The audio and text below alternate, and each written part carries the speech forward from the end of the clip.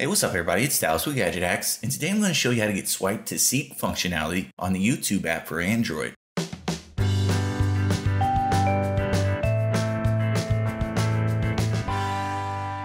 Now, I recently covered an app called Touch Controls for YouTube that lets you swipe the screen to adjust brightness and volume while you're watching a YouTube video. But one feature you guys wanted that wasn't offered by that app was the ability to seek the video by swiping. Well, right on cue, developer Blueberry6401 released an Xposed module that'll do just that, so I knew I had to cover this one. As far as requirements go, you'll need to have the Xposed framework installed, and you'll also need to be running Lollipop or higher. Aside from that, just head to the download section in your Xposed installer app and search YouTube Swipe to Seek, then tap the top result.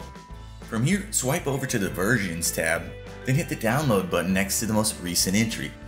Within a few seconds, Android's installer interface should come up, so tap Install on this screen. When that's finished, you'll get a notification from Xposed telling you that the module hasn't been activated yet and that a reboot is needed. So tap this notification, then on the following screen, tick the box next to the newly installed module. From here, you'll need to reboot your phone to wrap things up, so let me take care of that real quick and I'll get right back with you.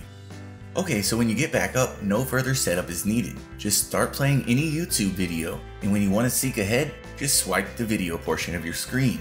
When you're doing this, there's a little toast message that tells you how far you're seeking. You can also kind of see it with the scrubber at the bottom of the screen. Aside from that, there's one little bonus feature you should also know about. When you have the video in full screen mode, the swipe to seek gesture still works, but you also get a second gesture that lets you adjust volume.